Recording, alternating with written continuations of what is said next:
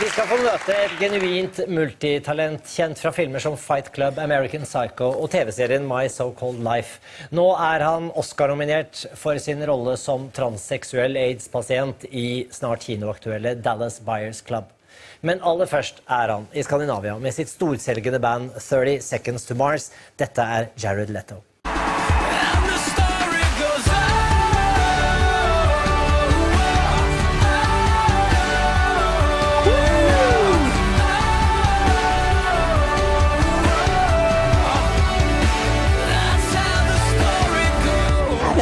Been looking for you, Lone Star. Listen, Tinkerbell, unless you got more cash or new clients, I'm busy. You don't deserve our money. Got you in, 5%. 25. Take it or leave it. Please welcome Jared Leto.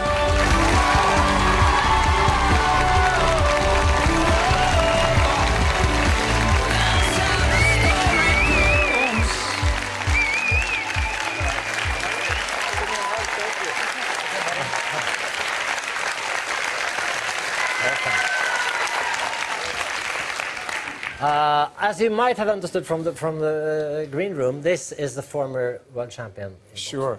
And And I understand she could kick my ass. yes.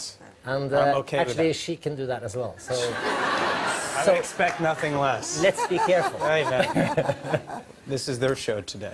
Would you? Uh, I mean, you have you have a lot of professions. You can do a lot of things. But could, would you make a good politician?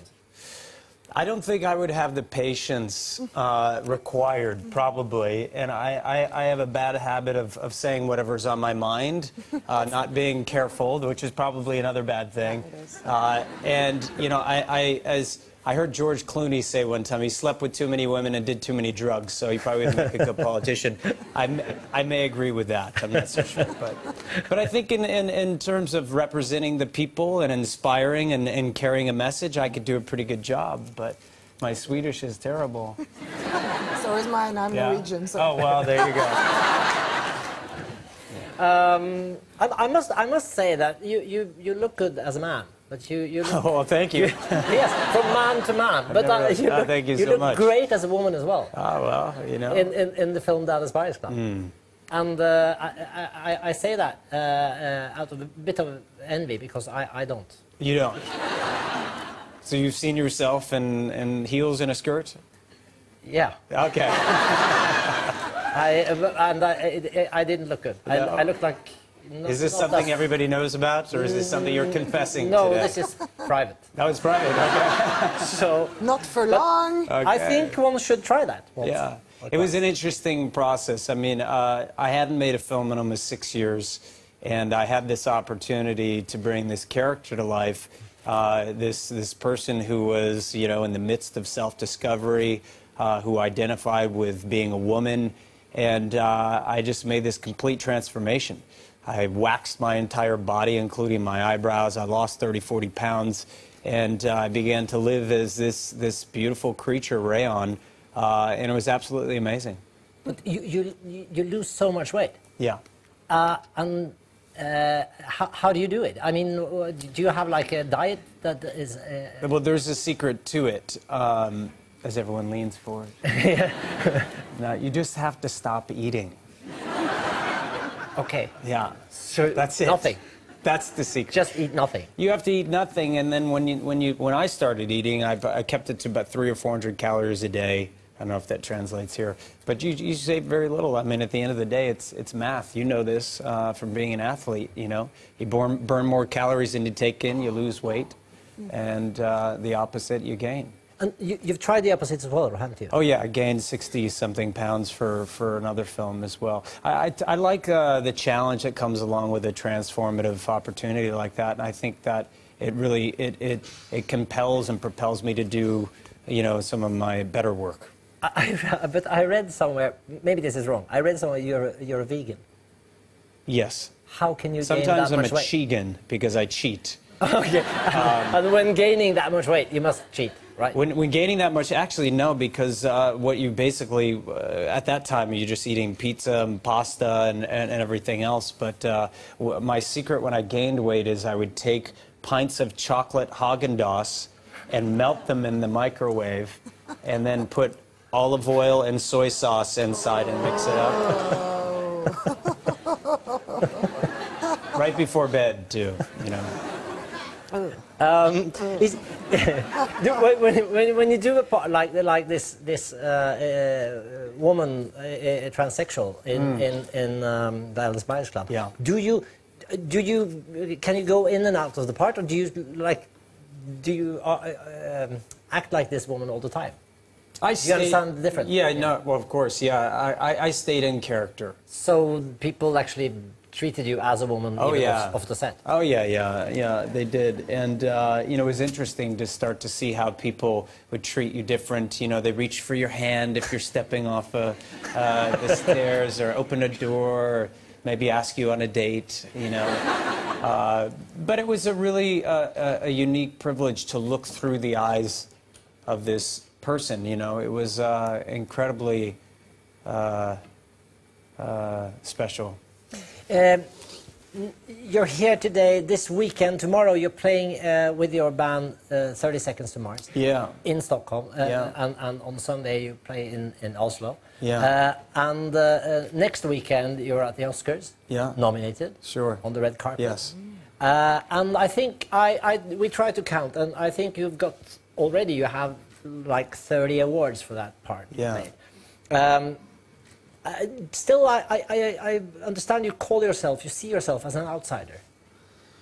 Sure, I think that's just something you're, you know, you're either born that way or not. I guess it depends what side of the tracks you're from. You know, I was born really poor in Louisiana uh, to a single mom who, you know, didn't have much but made a better life for herself, uh, and in turn for my brother and I. But, you know, it's been incredible to to make dreams a reality, and that's that's really what we we've been able to do, um, and what we're all able able to do and celebrate. Uh, we played uh, uh, Gröna Lund. Is that how you say? How do you say it? Gröna Lund.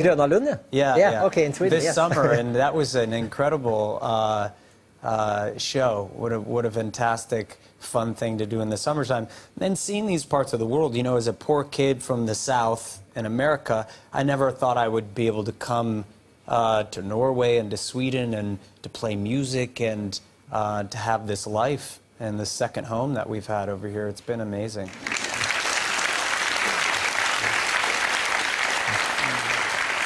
do, do you sometimes feel like an outsider? Well, I think most politicians do sometimes because it has to do with uh, pushing uh, the established um, rules all the time. And I think that's what um athletes uh, do, that's what artists do, and I think that's sometimes what politicians do as well. I think as soon as you take the first step towards your dream, uh, you can be a bit of an outsider because most people don't make that choice. They should, but most people either are scared or don't realize they have the right to. Um, and of course, in your business, it's always either 49% or 51% of the population uh, doesn't like you very much. And the other go. part thinks you're incredible. So uh, you're always an outsider to someone, I suppose, right?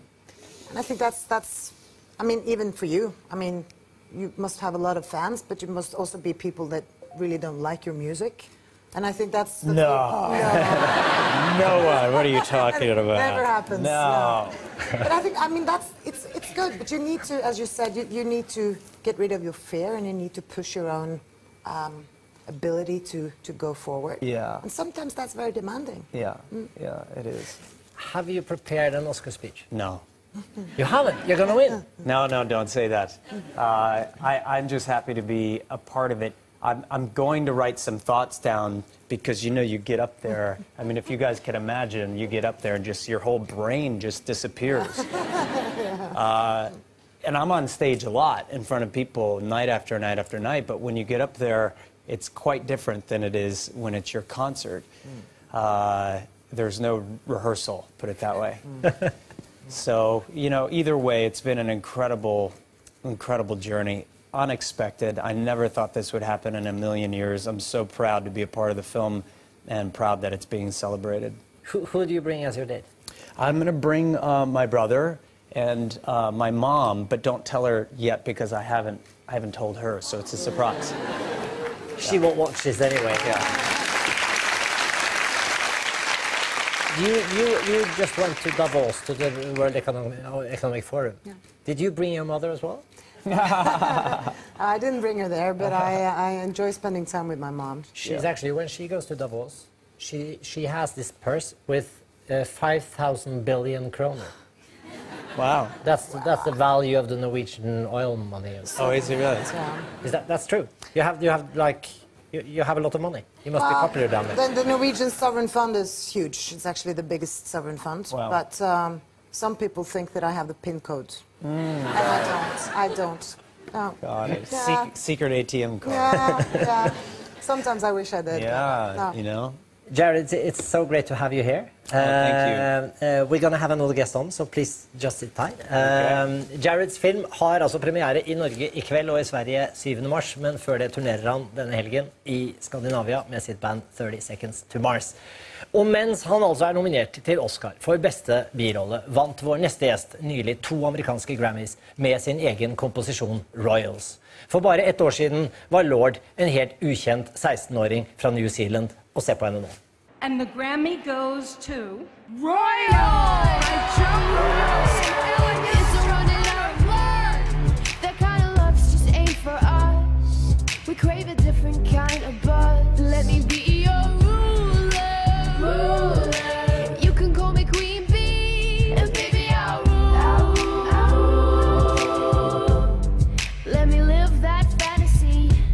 Ladies and gentlemen, Lorde!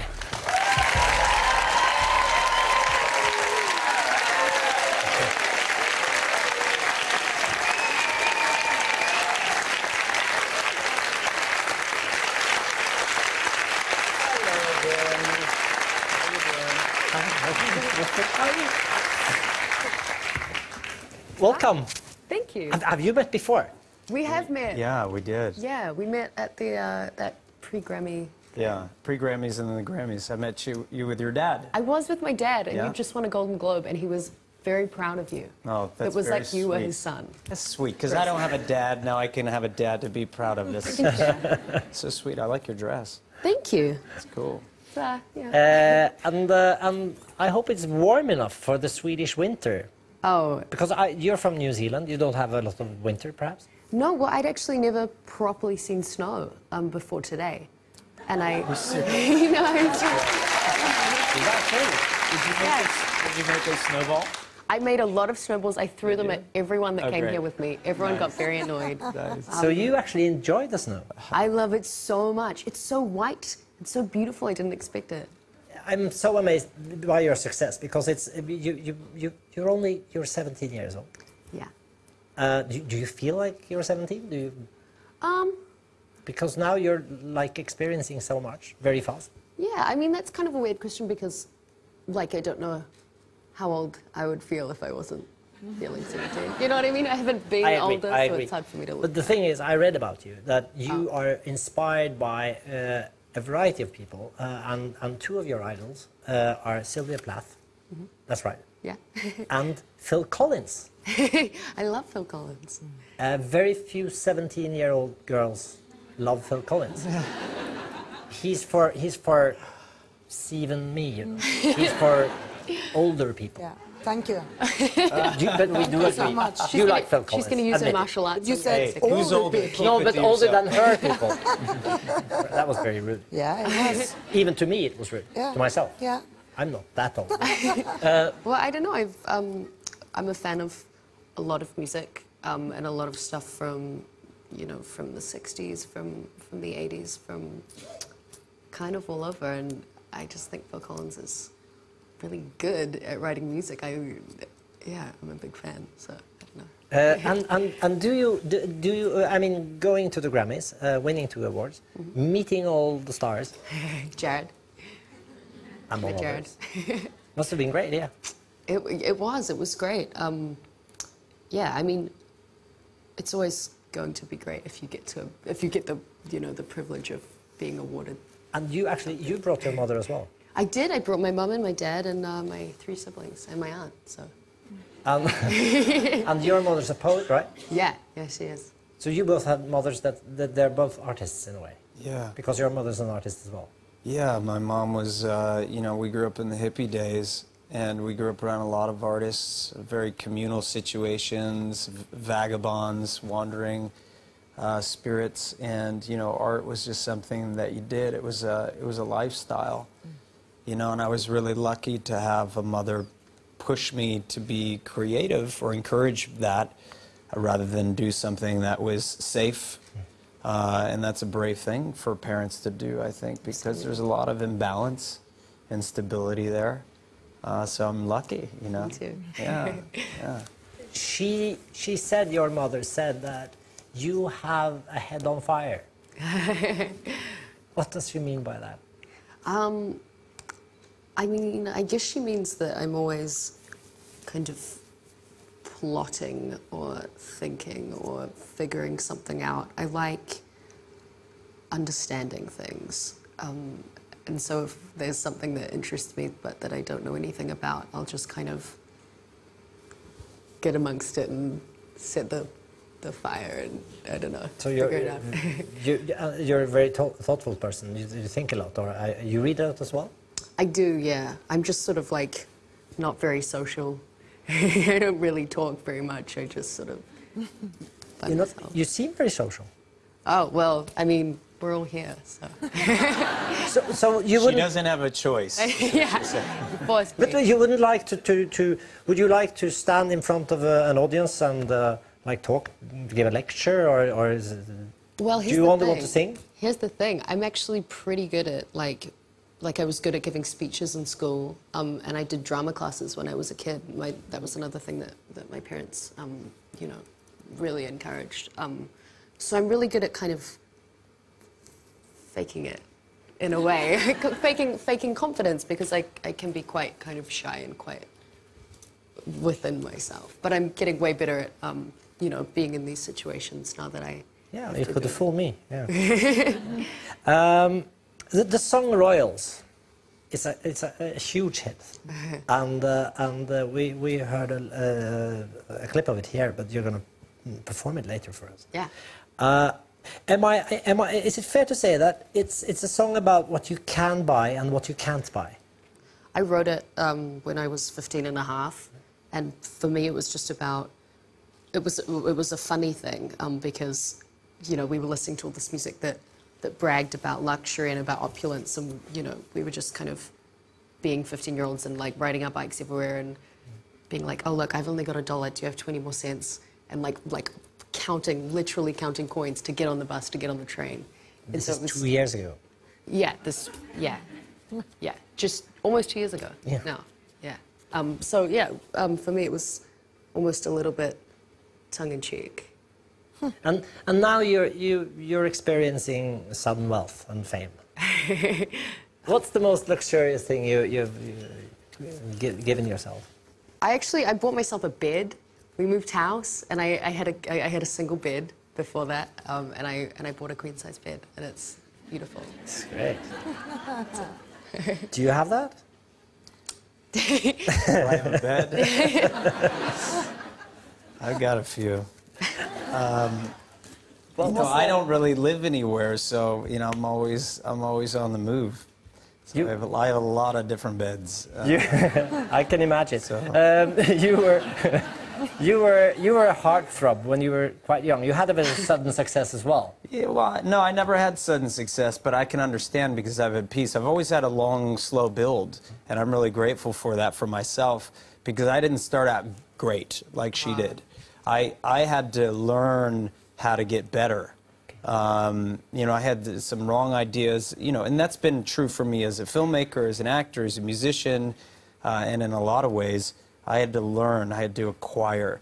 Uh, uh, but you know, uh, sudden fame can be like a fight with a tiger. You just you don't know what to do until it's upon you, and then you figure it out, and you got to stay alive, right? So it can be a tough thing, and I think it's in hindsight you have kind of a perspective, and you know, I mean, if you've got good people, good friends, good family around you, that certainly that helps. But I find often it's it's it's not it's not Lorde who changes, it's everybody around her who changes. Uh, and that can be the difficult thing, you know. And friends who are like, well, well, why are you acting funny? is this is this how it feels for a finance minister as well? As lo- when you're in position, do people change? I think that anyone who experiences fame to being recognized, whether it's in your hometown or globally, as you guys uh, experience, I think that some sanity checks has to do with your, um, your, your old friends. How do they behave towards you? Uh, do they change? And if they change, then I think that's the saddest thing, actually.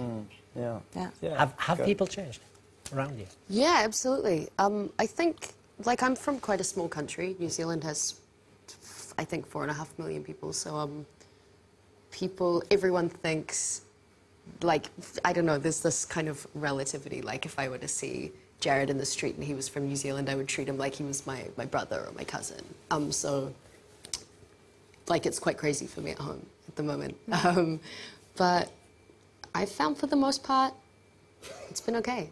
Um, and I think, like, I'm still quite weird. and so, like, people who know me are like, oh, okay, it's, it's the same. Wh- Why why Lorde? I mean, that's your name is Ella, right? Yeah, my name's Ella. Well, I was just interested in aristocratic titles, and I was trying to kind of find like something Latin or something that I could just make my name. And I liked just simple Lord, but I wanted to put an E on it to make it a little bit feminine. I like the mixture of toughness and kind But of soft. but why uh, aristocracy? Why is that interesting? I don't know. It's just it's just something that I've always liked. When I was a kid, I was just really into all types of history and was particularly drawn to different monarchs, particularly the ones who um, like got the throne when they were 14 or like you know I don't know. I'm just interested in the weird, awful, strange nature of it. I don't know. Is that is that morbid? No, it's perfect. And as an introduction to royals, couldn't be better. Thank you very much. Join your band. Thank you so much. Thanks. Thank you very much. And thank you so much for being with us tonight.